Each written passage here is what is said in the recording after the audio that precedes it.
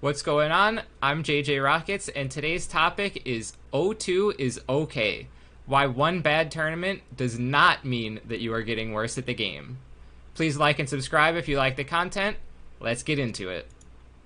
So, in my journey of picking up Pyra and Mythra from scratch, I started last week where I went to a local and I went 1 and 2 in the bracket to get ninth place. And last night I went to my second tournament where I went 0-2 and I got 13th place. Yeah, 13th place. Technically, it was a 1-2, but my one win was a DQ, so I really did go 0-2, which was the first time that this has ever happened to me. Now, you could say I did better last night than uh, last week because I did place second in the amateur bracket, but the amateur bracket doesn't really mean anything, so we're just going to look at the main bracket here and keep in mind that I was 0-2. Now, I had this tweet earlier in the week where I said that improvement isn't linear. As you work on incorporating new strategies into your play for the first time, you'll be noticeably worse until you start to perfect those strategies. So, I'm just going to use myself as an example when I kind of explain this in a little more detail in the sense of playing Pyra and Mythra. So I would say when I'm playing, the majority of the time I'm sticking to Mythra. and I think a lot of Aegis players are the same.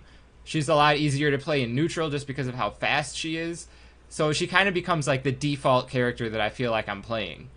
However, I think in order to become a really good Aegis player, you have to be good with both of the characters and know when to switch between them. But this creates a problem how do I know like what what times I should be switching at? How do I get better at getting the early kills with Pyra if I'm just defaulting to Mythra every time? So I was playing some matches and I was like, okay, I'm just gonna force myself to play a little bit more Pyra, like try to figure out how I can find those kill setups. How do I position myself to find like the down air up smashes at the right percents? How do I go for the right edge guards? These are the things that I just didn't know because I was defaulting too much into Mythra. So as I'm trying to switch more often, maybe game to game, my results are getting worse. But in the long run, once I actually get better at the Pyra, my results are going to be higher than they once were. So my improvement, it's not like a linear line going up. Instead, it's kind of going up and down, up and down as I'm trying try something new, I go down, and then I get better at it, I go up try something new, it goes a little down, I get better at it, I go up, and this time I'll be higher than I once was. So that's kind of what I meant behind this tweet. And I just want to go into a little bit more detail about this because I think it results does not equal improvement, and improvement does not equal results. So tournament results are inconsistent and they're not really a one to one reflection of your skill level. So just because you won the tournament, it doesn't necessarily mean you are the best player. And just because you win 0-2, it doesn't necessarily mean you are the worst player. And therefore, I think it's difficult to use just the tournament results as a tracking of your progress. Because just the result itself, it doesn't tell you anything about how the individual games were going. Maybe you were playing really well, but you just happened to get matched against players that were doing really good that day or maybe you even were playing well, but you got matched up into matchups you don't know. So ultimate brackets have so many variables that go into them that it's just not an accurate representation of how you're progressing on a week to week basis, at least. So, one of the most important variables that I'm sure all of you are familiar with is the characters. Yeah, there are a lot of characters in this game, and that is a lot of matchups that you have to know to be good with. So, when I'm picking up a new character like Aegis, it's going to take me a long time before I get well rounded on every single matchup in the game. Like, just playing from two weeks, it's. I've barely scratched the surface in terms of matchups. I wouldn't even say there's one matchup that I'm particularly good at right now, but there's plenty of matchups that I'm particularly horrible at just because I haven't played them enough. So going into brackets, I have to be prepared for everything, but that's going to take a lot of time. There's also what I'm going to call player variables. So in a game like Smash Bros, nobody is 100% consistent. So sometimes you'll have a good day, sometimes you have a bad day. And guess what? Same thing with every other player that entered the bracket. Tournaments don't show who the best player in the room is. They show who was the best player on that day given that bracket. So I kind of just to, illustrate this a little bit better, I made this little PR graph. So this is our fake PR where we have up here is number one on the PR and down here is number 10. Each of these dots is going to represent like the average skill level of that player. So the higher on the PR, the higher the average skill. However, each player has a different range that they play in, right? So players that are worse, they tend to have really big ranges because they're just not consistent at the game. So if you if you're playing somebody in bracket, in order to beat them, you have to be playing really high in their range and they have to be playing really low. So let's look at for example, number 1 on the PR and number 2. In order for number 2 on the PR to win this matchup, look at this. He has to be playing nearly at the top of the range but number one is so good and so consistent that he's almost always in that little tight range and will almost always beat number two. And you can see, even on a bad day, player one's range is above all the other players' ranges. You also get some players like rank number five here. So you can see, like, rank five, on a great day, he has an insanely big range. That means he's an inconsistent player. But on a good day, he can take on number two on a bad day. But when number five has a bad day, guess what? He can lose to number 10. So this is just like a, trying to demonstrate that each day you're going to be playing somewhere different in the range. And you might beat someone one day, but lose to them the next day. So that one tournament doesn't say if your average has moved up. It's just saying how you are playing within your range on that given day. So, in my opinion, if you want to move up, there's two things you can do. Number one is you want to move up your average rank by just getting better at the game. And number two, you want to tighten this range so that you're always playing like near the peak of your range. So, how do we tighten this range to become more consistent at the game? I would say that fundamentals are the foundation of consistency. Without strong fundamentals, you will never be a consistent player. And if you look at somebody that is consistent, I guarantee you that you will notice that their fundamentals are really good. Spending time on fundamentals is much more valuable than spending time learning flashy combos. So I could sit in the training room for like 50 hours and maybe I would like learn some crazy footstool combo that that gets me 80% in this one tiny niche situation against one character Eh, that doesn't really do anything for me compared to if I had just sat there, used those 50 hours, and just practiced like moving around the stage with the character, practice my bread and butter, like the kind of things that you will use in every single game.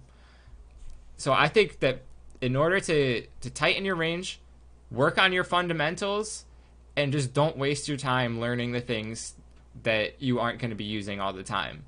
Once you become like more consistent, okay, then you can learn your flashy combos. That might be what can help you just get that slight leg up.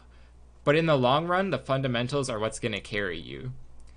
There's a quote from Bruce Lee that says, I fear not the man who has practiced 10,000 kicks once, but I fear the man who has practiced one kick 10,000 times. And I think this kind of fits into this theory about fundamentals really well. Because if you practice that one kick 10,000 times, you're going to be really good at it compared to if you spread out this practice to 10,000 different kicks.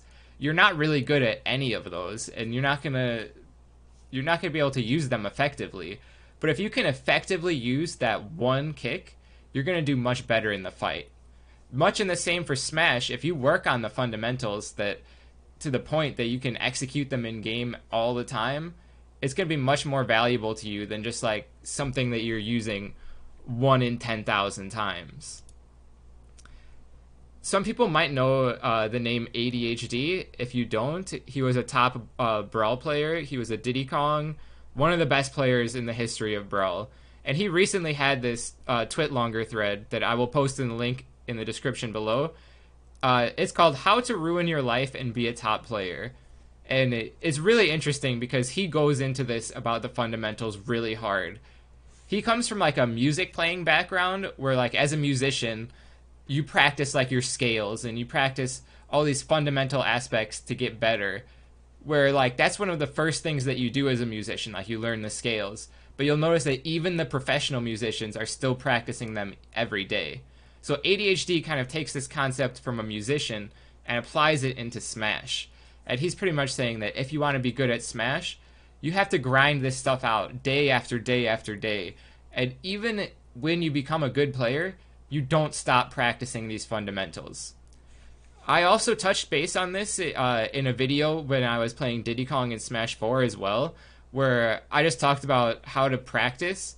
And I specifically was mentioning how having a routine where I practice the same thing every day until I got it 20 times in a row. It was really important to me because when you go into a bracket, you're going to be punishing people for making mistakes, and they're going to be punishing you for making a mistake. So you really want to just get to a point where your mistakes are totally minimized. So this kind of goes into the fundamentals where like you need to just get so good at controlling your character that you're not making those minor mistakes. So now that raises this last question, what are the fundamentals of Smash? I would argue that the number one fundamental is just having control of your character. And this is what ADHD talked about and what I talked about in that video.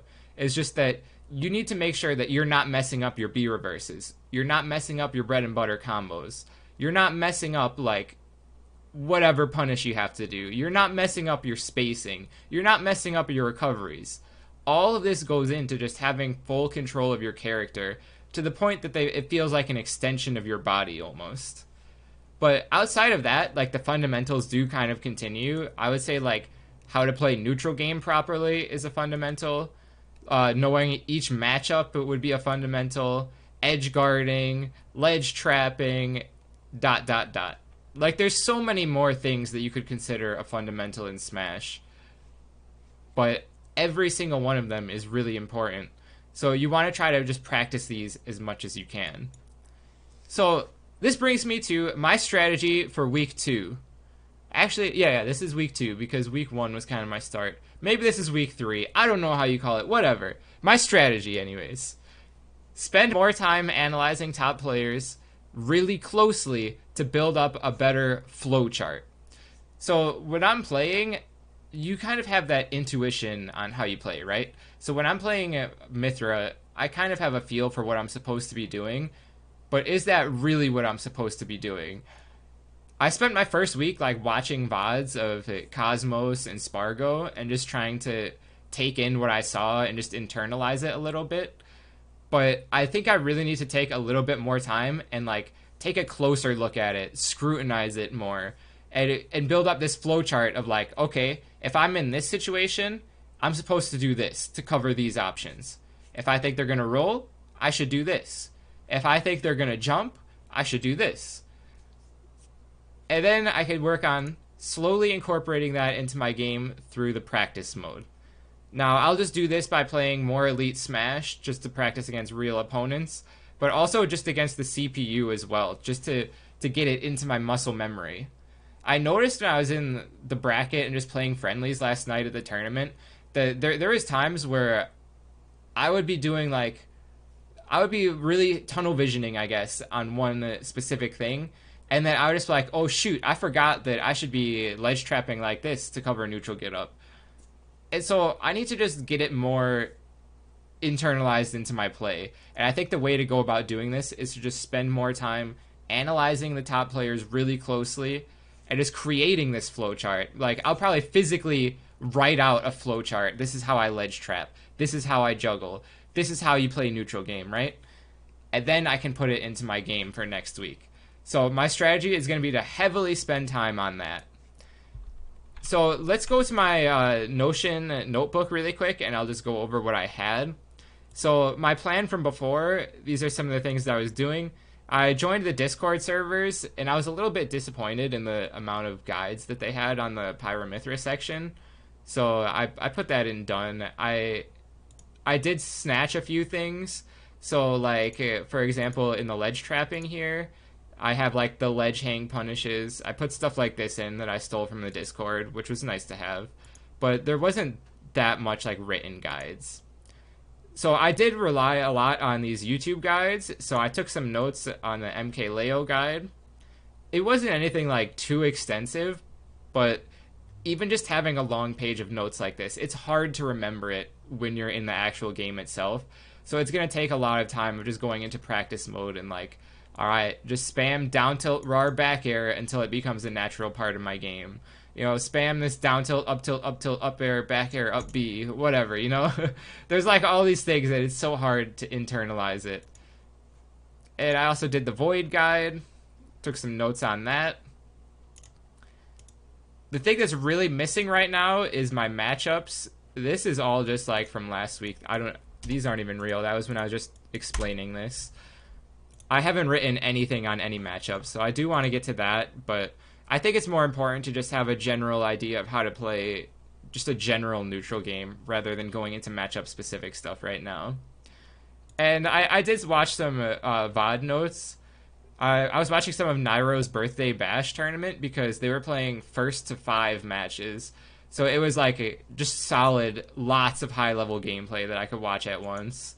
And I took some notes, wrote some key takeaways, and yeah, it wasn't anything too extensive. It, I was more spending time to just like watch it and just try to get a general feel for the for the Pyra/Mythra gameplay. So yeah, it pretty much in conclusion, I'm gonna be doing a little bit more of that same thing but instead of just getting a general idea, I'm going to start to get a little bit more specific and try to actually make a flowchart. So that's my goal. Hopefully, I'm not going to go O2 next week. And uh, hopefully, you guys learned something. Have fun smashing out there, and I will see you next week.